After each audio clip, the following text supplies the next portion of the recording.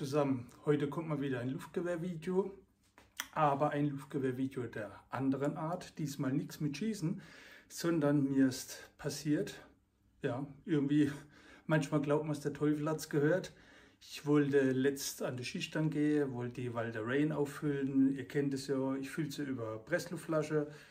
Quickfill rein, Pressluftflasche aufgedreht. Äh, irgendwann hat es gemacht so und sie hat Druck abgeblasen. Vorher ist noch nie irgendwas gewesen. Sie hat den Druck abgeblasen bis etwa 60 Bar und bei 60 Bar hat sie sich dann gehalten. Ja, wäre das nicht schlimm genug. Danach habe ich die äh, Weihrauch HW100 genommen, habe gedacht, gut, nimmst du die zum Schießen, auch an die Pressluftflasche angeschlossen, Quickfill, natürlich den richtigen Quickfill genommen, gefüllt, dreh auf und irgendwann hat es Pump gemacht, hat die auch abgeblasen. Allerdings, die hat dann bis 150 Bar, hat sie den Druck gehalten. Keine Ahnung, das alles innerhalb von fünf Minuten. So, warum das so ist, ich kann es euch nicht erklären. Die Pressluftflasche hatte ich vorher beim TÜVen, die ist frisch getüft, gereinigt worden, frisch gefüllt worden. Ja, hatte, ja, im Grunde war es jetzt das zweite Mal, dass ich die Pressluftflasche benutzt habe. Jetzt habe ich natürlich versucht, beziehungsweise ich werde jetzt versuchen, die Umarex, die Walter Rain auseinanderzubauen. Äh, ich selbst muss aber gestehen, ich habe keinerlei Erfahrung. Also ich habe noch nie eine Pressluftwaffe zerlegt. Ich mache das jetzt das erste Mal. Ich hoffe, es geht nichts kaputt. Wenn nämlich den ganzen Krempel tun den Schuhkarton und schmeißen fort. Nee, im Ernst jetzt. Gell. Also ich werde es versuchen. Ich werde es ein bisschen filmen. Traurigerweise habe ich kein einziges Video dazu gefunden, wo ich jetzt gedacht habe, bin ich jetzt der Erste, dem so undicht wird. Äh, ja, ansonsten, die Waffe ist Baujahr Oktober 2018, so steht es auf der, auf der Kartusche drauf. Ich selbst habe sie aber in der Corona-Zeit, ich weiß gar nicht, wann das war, war das 21 oder so, habe ich sie gekauft. Sie war wohl als Vorführwaffe, war sie, oder 20, 20 war es, glaube ich, ja. Sie war als Vorführwaffe deklariert und habe sie zu einem wirklich guten Preis gekriegt. Naja, jetzt werden wir mal schauen, woran es liegt und ob ich sie wieder hinbekomme. Ich halte euch auf dem Laufen und ja, bis später und tschüss.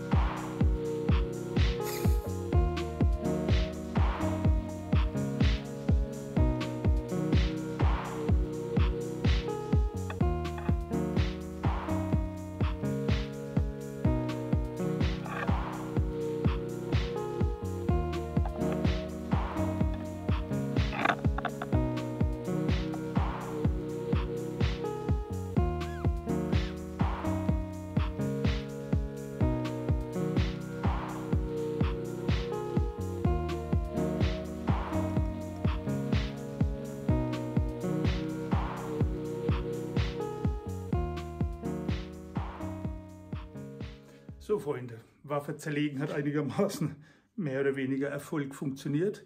Äh, was ist mir aufgefallen? Das ist so ein schönes Teil. Auf der Seite ist die Pressluftkartusche montiert. Die geht dann in den Systemblock rein. Hier geht es dann auf den Regulator. So, aufgefallen ist mir der Ohrring wo praktisch die Pressluftflasche drauf ist, der war sehr platt. Allerdings da war sie dicht, gell? ist ja eigentlich egal, gehoben hat er. Dann den zweiten Ohrring, wo da drauf ist, der war eigentlich gut. Also einzigste, was mir da wieder aufgefallen ist, ich habe ja von Umarex Ersatz bekommen, dass der von Umarex dicker ist. Und am meisten ist mir aufgefallen, dass praktisch der hier drauf, bevor es dann durch den Regulator geht, das ist jetzt, Achtung, der Ohrring hier, so, der ist bockhart. Warum auch immer. Gell? Und man wird es wohl nicht mitkriegen. Also, wenn man den in irgendeiner Form bewirkt, der knackt und gibt Geräusche von sich, wie wenn er bricht. Also der ist wirklich fertig, ja. Finde ich ein bisschen jetzt, ja, nach sechs Jahren. Weiß ich nicht, gell, ob das normal ist oder nicht. Aber jetzt werde ich die neuen montieren. Ach ja, der Ersatz ist übrigens auch dicker. Also ich denke mal, dass vielleicht Umarex vielleicht sogar Probleme durch schon mal festgestellt hat und dann ein bisschen nachgebessert hat. Es hat auch ein bisschen krumme Maße, haben die Pfeile, äh, die, die Ohrringe. Aber ich werde sie nachher an die Fotos werde ich anhängen. Ja. Das war es erstmal. Jetzt gucke ich, dass ich sie zusammenbaue und schauen wir mal, ob sie dann wenigstens wieder dicht ist. Ja, und der Kater, der, ui, der wird mir natürlich helfen und unterstützen. Stimmt's? Genau. Gut, in diesem Sinne, bis gleich.